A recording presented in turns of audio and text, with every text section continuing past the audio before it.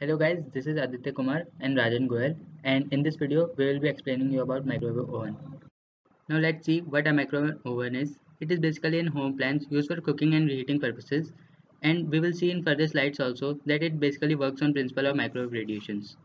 Before getting into the working of microwave oven, first let us look at some applications of microwave oven and microwaves. One of the main benefit of microwave oven is that it consumes very less amount of energy compared to cooking stove. Now, getting on to what microwaves are. These are a form of electromagnetic waves with wavelength ranging from 1 mm to 1 meter.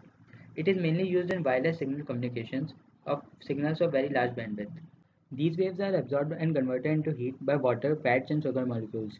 These waves are not absorbed by plastic, glass and ceramics and reflected by metals. You should never put a metal inside oven as it may cause sparks and damage your oven.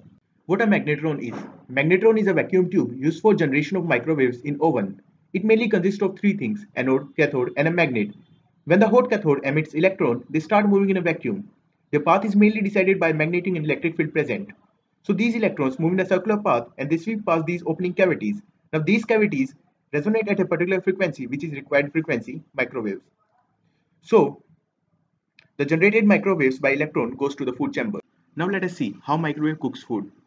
As we saw, microwave use magnetron to generate EM waves basically microwaves. Now these microwaves, these EM waves come to the food chamber through something called waveguide. The food sits on a turntable spinning slowly so that the food is cooked evenly. Now the waves get reflected from the reflecting metal walls and penetrate through this food and vibrate the atoms in the food so that the molecular friction generates heat and the food gets hotter and cooked. Water molecules in our food have a dipole moment as shown in figure. So our food is exposed to electromagnetic waves which emanate from tube. In electromagnetic wave, direction of electric and magnetic field changes 2.45 billion times per second. So dipole of water molecule tries to align with the electric field also rotates very fastly. We can see this change from figure.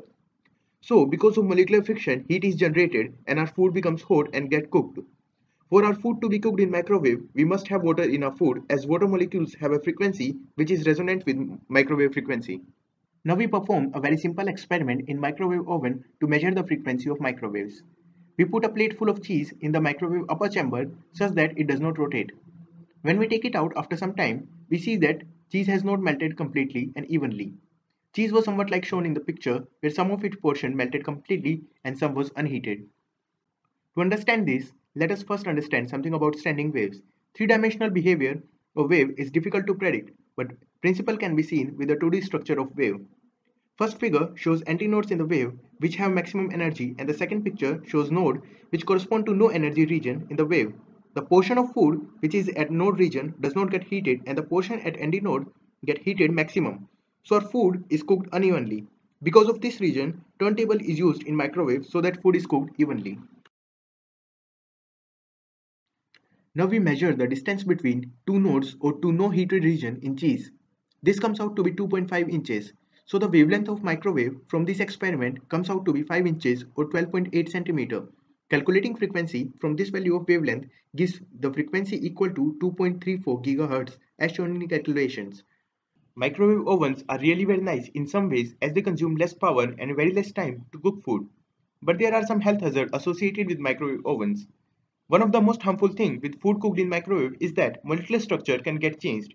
But for case of water, we are perfectly safe as even after molecular structure change, either H2 or O2 will be formed, which can evaporate easily. There may be the case that H2O2 is formed, but it is easily decomposed.